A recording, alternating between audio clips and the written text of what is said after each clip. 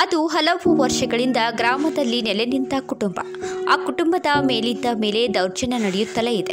ಹಲ್ಲೆಗೊಳಗಾದ ಗೊಮ್ಮೆ ಅಧಿಕಾರಿಗಳ ಬಳಿ ಗೋಳು ತೋಡಿಕೊಳ್ಳುವ ಕುಟುಂಬಸ್ಥರಿಗೆ ನ್ಯಾಯ ಸಿಗುತ್ತಿಲ್ಲ. ಹೀಗಾಗಿ ಕುಟುಂಬಸ್ಥರು ಅಕ್ಷರಶಃ ಬೀದಿಗೆ ಬಿದ್ದಿದ್ದಾರೆ. ಸಾಮೂಹಿಕ ಬಹಿಷ್ಕಾರದಿಂದ ಕುಟುಂಬಸ್ಥರು ಕಣ್ಣೀರಿಡುತ್ತಿದ್ದಾರೆ. ಹೀಗೆ ದೃಶ್ಯಗಳಲ್ಲಿ ಕಣ್ಣೀರಿಡುತ್ತಾ ಅಸಮಾಧಾನ ಹೊರಹಾಕುತ್ತಿರೋ ಈ ಕುಟುಂಬಸ್ಥರು ಧಾರವಾಡ ಜಿಲ್ಲೆಯ ಕುಂದಗೋಳ ತಾಲೂಕಿನ ವಿಠಲಾಪುರ ಗ್ರಾಮದ ನಿವಾಸಿಗಳು. ವಿಠಲಾಪುರದಲ್ಲಿ ಹಲವು ವರ್ಷಗಳಿಂದ ನೆಲೆ ನಿಂತಿರೋ ಈ ದಲಿತ ಕುಟುಂಬದ ಮೇಲೆ ಸವರ್ಣೀಯರು ಹಲ್ಲೆ ಮಾಡುತ್ತಿದ್ದಾರೆ ಅನ್ನೋ ಆರೋಪ ಕೇಳಿ ಬಂದಿದೆ.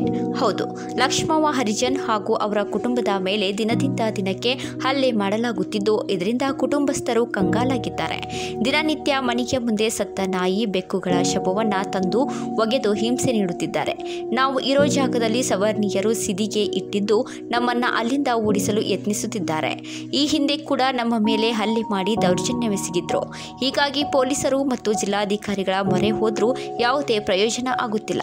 ನಮಗೆ ನ್ಯಾಯ ಬೇಕು ಎಂದು ಕುಟುಂಬಸ್ಥರು ಗೋಳು ತೋಡಿಕೊಂಡಿದ್ದಾರೆ. ಎರಡ್ ಸಾವಿರದ ಹತ್ತೊಂಬತ್ತರ ಫೆಬ್ರವರಿಯಲ್ಲಿ ಈ ಹರಿಜನ ಕುಟುಂಬದ ಮೇಲೆ ಸವರ್ಣೀಯರು ಹಲ್ಲೆ ನಡೆಸಿದ್ರು. ಈ ಹಲ್ಲೆಗೆ ಸಂಬಂಧಿಸಿದಂತೆ ಹಲವು ಬಾರಿ ಮನವಿ ಸಲ್ಲಿಸಿದಾಗ ಜಿಲ್ಲಾಧಿಕಾರಿ ದೀಪಾ ಚೋಳನ್ ಗ್ರಾಮಕ್ಕೆ ಭೇಟಿ ನೀಡಿ ಕ್ರಮ ಕೈಗೊಳ್ಳಲು ಭರವಸೆ ನೀಡಿದ್ರು. ಆದರೆ ಹಲ್ಲೆ ನಡೆಸಿದ್ದ ಹದಿನೈದು ಜನರಲ್ಲಿ ಕೇವಲ ಐದು ಜನರನ್ನ ಬಂಧಿಸಿದ ಪೊಲೀಸರು ಪ್ರಕರಣದ ತನಿಖೆ ಮುಂದುವರಿಸುವುದಾಗಿ ಹೇಳಿ ಕೈ ಚೆಲ್ಲಿದ್ರು.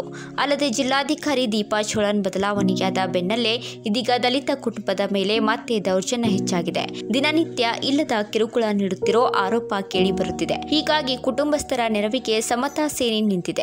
ಅಲ್ಲದೆ ಕುಟುಂಬಕ್ಕೆ ಜಿಲ್ಲಾಡಳಿತ, ಜಿಲ್ಲಾ ಉಸ್ತುವಾರಿ ಸಚಿವರು ನ್ಯಾಯ ಒದಗಿಸಬೇಕು. ದೌರ್ಜನ್ಯಕ್ಕೊಳಗಾದ ಕುಟುಂಬಸ್ಥರಿಗೆ ಪರಿಹಾರ ನೀಡಲು ಒತ್ತಾಯಿಸಿದ್ದಾರೆ. ಅಲ್ಲದೆ ಪರಿಹಾರ ನೀಡಲು ಹದಿನೈದು ದಿನಗಳ ಗಡುವು ನೀಡಿದ್ದು ಸಮಸ್ಯೆ ಪರಿಹರಿಸಿದ್ದರೆ ಉಗ್ರ ಹೋರಾಟದ ಎಚ್ಚರಿಕೆ ನೀಡಿದ್ದಾರೆ. ಇದೆಲ್ಲವನ್ನ ಕಂಡ ಕಾಣದಂತಿರುವ ಜಿಲ್ಲಾಡಳಿತ, ಜನಪ್ರತಿನಿಧಿಗಳ ನಿರ್ಲಕ್ಷ್ಯದ ವಿರುದ್ಧ ಅಸಮಾಧಾನ ವ್ಯಕ್ತವಾಗಿದ್ದು, ಉಗ್ರ ಹೋರಾಟದ ಎಚ್ಚರಿಕೆಯನ್ನ ಸಮತಾ ಸೇನೆ ನೀಡಿದೆ. ಆದರೆ ಸಾಹಿತಿಗಳ ತವರೂರು ವಿದ್ಯಾಕಾಶಿ ಸೂಕ್ಷಿತರ ಜಿಲ್ಲೆ ಎಂದೇ ಪ್ರಸಿದ್ಧಿ ಹೊಂದಿರೋ ಧಾರವಾಡ ಜಿಲ್ಲೆಯಲ್ಲಿ ಸಾಮೂಹಿಕ ಬಹಿಷ್ಕಾರ ದಲಿತರ ಮೇಲಿನ ಹಲ್ಲೆಗಳು ನಡೆಯುತ್ತಲೇ ಇರೋದು ವಿಪರ್ಯಾಸವೇ ಸರಿ.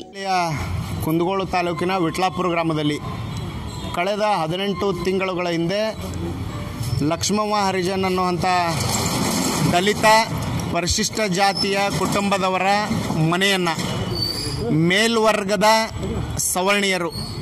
ಏನು ತಮ್ಮ ಊರಿನ ಶವ ಸಾಗಿಸುವಂಥ ಮೇಲ್ಜಾತಿಯ ಶವ ಸಾಗಿಸುವಂಥ ಸಿದಿಗೆಯನ್ನು ಇಡುವಂಥ ನಿಟ್ಟಿನಲ್ಲಿ ಇವರ ಮನೆಯನ್ನು ತೆರವುಗೊಳಿಸಿ ಇವರು ಎಲ್ಲರ ಮೇಲೆ ದಬ್ಬಾಳಿಕೆ, ದೌರ್ಜನ್ಯವನ್ನು ಮಾಡಿ, ಹಲ್ಲೆಯನ್ನು ಮಾಡಿ ದೌರ್ಜನ್ಯವೆಸಗಿದ್ರು ಆ ಪ್ರಕರಣಕ್ಕೆ ಸಂಬಂಧಪಟ್ಟಂತೆ ಜಿಲ್ಲಾಡಳಿತವಾಗಲಿ, ಸರ್ಕಾರ ಆಗಲಿ ಇವತ್ತಿನವರೆಗೂ ಇವರ ಸಾಮೂಹಿಕ ಬಹಿಷ್ಕಾರವನ್ನು ಇವತ್ತಿನವರೆಗೂ ಅಲ್ಲಿ ತಡೆಗಟ್ಟೋಕೆ ಮುಂದಾಗಿ ಕುಂದಗೋಳ ತಾಲೂಕ ಇಟ್ಲಾಪುರ ನಮ್ಮೂರು ಚಿಕ್ಕದೊಂದು ಹಳ್ಳಿ.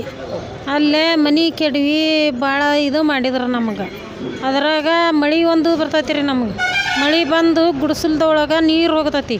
ನೀರು ಹೋಗು ನಮಗೆ ನೀರು ಚಲೋದ ಚೆಲ್ಲೋದು ದಿನಾನು ಬರೇ ತಂಪು ಹೋಗಲಿ, ರಾತ್ರಿ ಬರೇ ತಂಪು ಇರಾಕ ನಮಗೆ ಜಾಗನೂ ಇಲ್ಲ, ಮನಿನೂ ಇಲ್ಲ. ಮತ್ತು ಸತ್ತಿದ ನಾಯಿ, ಕಾಮಿ ತಂದು ಬಾಗಿಲ್ದಾಗ ಜೋಪಡಿ ಮುಂದೆ ಒಗಿತಾರೆ ನಾವು ಪದೇ ಪದೇ ಏನು ಪೊಲೀಸರಿಗೆ ಇದು ಮಾಡೋದು ಅಂತೇಳಿ ನಾವು ಹಗ್ಗ ಕಟ್ಟಿ ಕಾಲಿಗೆ ತಗೊಂಡು ಹೋಗಿ ಮತ್ತು ದೂರ ತಗೋದು ಒಗೆದು ಬರ್ತೇವೆ ರೀ ಮತ್ತು ಗಟರದ ಒಳಗೆ ಬಿಗ್ ನ್ಯೂಸ್ ಧಾರವಾಡ.